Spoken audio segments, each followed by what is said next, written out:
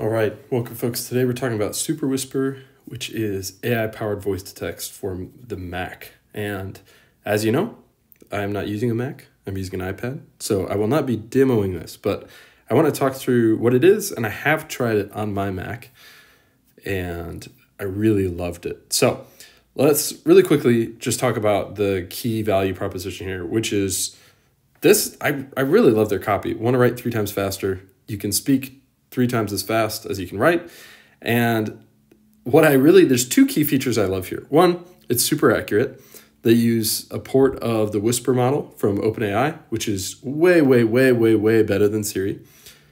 Actually, there's three things I like. So, one, the accuracy. Two, the locally processed audio. It's not a huge thing, but it just means that this is always on. And for some reason, it creates a sense of trust in me to know that I can always use this product, whether or not I have Wi Fi. And I love that. It feels really great. I'm often in environments where Wi Fi is iffy or I'm on a hotspot. So it's really nice to know I can actually use this everywhere I go. And the third thing is, I just, I really think they nail the UI here. And there's something beautiful about this. So I don't know if they'll, they don't really have a, a demo, but it, it looks something like this right? It's just a box that pops up and it kind of vibrates as you talk, like with a sound wave. And then this really nice feature is that at the end of your recording, you can then have it copied to your clipboard. So, what I'm really excited about is tomorrow I have to write my performance review. I'm going to speak it out and then instead of having to copy and paste it, I will literally just open Google Docs and paste it in there already on the clipboard. Another little quality of life thing they nailed is you can start this by just hitting Option Space. And that's a great key binding. It's not available for many other things. And it just makes this seamless. I mean, I can already see myself just hitting option space, recording something, pasting it somewhere, and, and off to the races and being done. So I'm trying out the premium version for 15 minutes soon. And if I like that, then I'll bump to, I think it's $5 a month. And I'm even considering just the lifetime purchase, which is, I think, $165 a month because you can download the model and it runs locally. So you can have it forever. I mean, this is a really cool product on a lot of levels. I love the combination of SaaS and um, this concept from the Basecamp team called Once, where you can actually buy software once and own it. Really, really cool. They've nailed the product, they've nailed the user experience. I'm really excited about this. Plus, I just want to show you beautiful website, stunning logo. I am such a huge fan. I mean, they really have such an attention to detail. I mean, even look at this on hover, this pops up. This has beautiful shading, just like the way Apple does it. Their logo is incredible. I mean, this is really cool. And there's just so much fun. This is a really great idea. Taking notes on podcasts, I didn't even think about writing Python and VS Code. Oh, I guess you can actually use it to write in a browser as well. Wow. You can also use uh, like keyword shortcuts or, or expansions. So I could say calendar and it would insert my Calendly link. So there's just a ton of really useful things here. I'm super excited to get this set up private and secure. I mean, this just knocks it out of the park. And what I think is really interesting is there's a product I really like called um, called Rewind that in some ways tried to do something similar, not not quite the same. They're, they're basically trying to record you all the time and then be your memory, right? So a little bit different here. But they have a really great UI, it's really smooth and simple, but they just have so many privacy problems that make it really concerning and kind of spooky to use. And I think Superwhisper really hits all the right notes here that's the difficult thing about these AI products is figuring out how to integrate them in such a way that's private. So hats off to the Superwhisper team. If all you wanted to know was Superwhisper, you can check out here. I'm now just going to talk about products that are similar and kind of compare and contrast and just nerd out. So I have been using this decision matrix that I built to decide which product to pick. And last week I integrated Exa.ai, which is a search engine I used their API and I basically found similar products using their API. Super fun, super interesting. So I'm going to start off with the weirdest one I found. Um, I can see where they were coming from here. This is called Hush Me. Very, very interesting company. It's in the audio space, and basically what it does is it's like AirPods for your mouth. So it allows you to talk privately anywhere.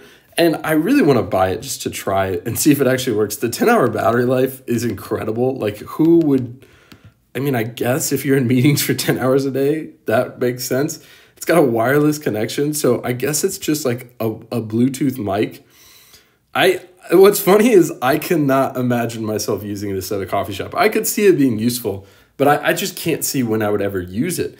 It reminds me of, so I have this uh, Voyager um, keyboard did I avoid? Which I love, super cool, right? But super nerdy. And in some ways reminds me of this Hush Me where I love it at home. And I did use it at a coffee shop for the first time the other day, but it's just, I'm incredibly self conscious with it. And I cannot be, I can't imagine how self conscious I would be with the Hush Me. So just a fun product, hilarious. Okay, so the leader in the space before Superwhisper really, I mean, you could say it's Siri, right? And Apple has had this dic- dic- like dictation for a while. It's not very good. I think their UI is wrong. I think the real time speech to text is actually a bad way to do it. I've been using IdeaFlow and I've also used Otter AI in the past. And what I love about them is they let me just talk and then they do the voice to text afterwards, which seems kind of counterintuitive that it would be better that way, but I find it much less distracting. I'm just able to talk. But as I dug into Otter AI, it looks like they've fully pivoted away from. They used to just be like this voice to text notebook. Now it looks like they're just like a meeting AI software, which is probably a smart pivot, go B2B, but uh, kind of a bummer. I think they were a leader in the space. Okay, next up is Whisper Memos. So, one, I think this theme of Whisper is really interesting. Two, I'm surprised at how thin this space is, right? This is kind of a surprising product to be around, to be honest. Like the copy doesn't look great. It's very, very single focused. Like for it to be just voice memo to email is a wild. I'm surprised this app exists. It's so niche. Um, so this is a small market, which does make me concerned for Super Whisperers like long term longevity. But this is actually a really interesting one though.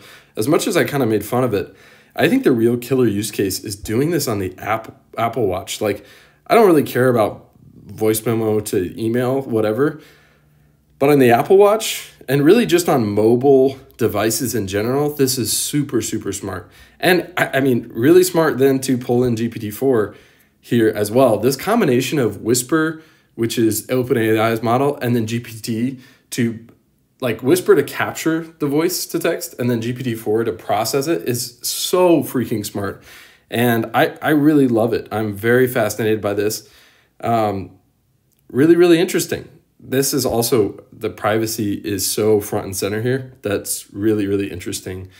I don't know that using Google Firebase is and not using your own service is a is a pro for me, but interesting to think about. So that is whisper memos. Next up, a little bit out of left field, but I can see what it's similar where this idea of using natural language to describe things. And actually, I really like this synergy of using something like Superwhisper to inform something like Superflows, where I could see myself using voice to text with Superwhisper to dictate what I want an API to do. And so there's this really cool kind of symbiosis here where I could use Superwhisper to write instructions, and then Superflows would transform those instructions from natural language to API like calls, which is crazy. I really like this product, Superflows. I think the idea of kind of squishy APIs is really, really interesting where you can rely on the computer to make the decisions about how things get done, and you can just kind of act as if you're talking to a human. Now, that said, there's a lot of risk here, and there's a lot, there's a long ways to go in terms of trust for this to be okay, right? So there's the privacy angle, of course, especially when you're dealing with private data. But there's really this question of what if it messes up?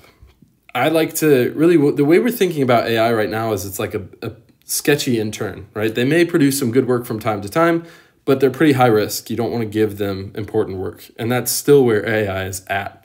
And I think where it'll be for a while.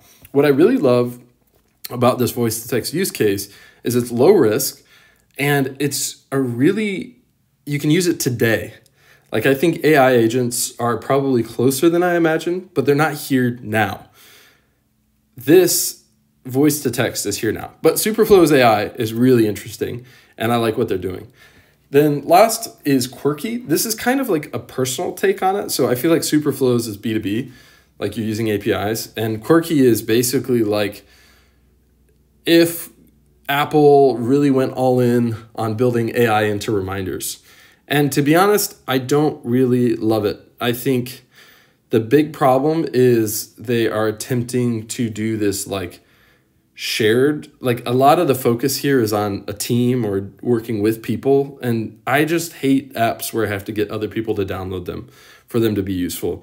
I mean there's apps like airbuds or i don't know sofa like like media apps where it's like okay do you want to see what i'm listening to on spotify? I will tell my friends about that but i just think apple notes apple reminders is still really really hard to beat or Google Docs for that matter, when it comes to collaborating with anyone. Because those platforms are already so well entrenched, I think it's a really bad take to do team based stuff here.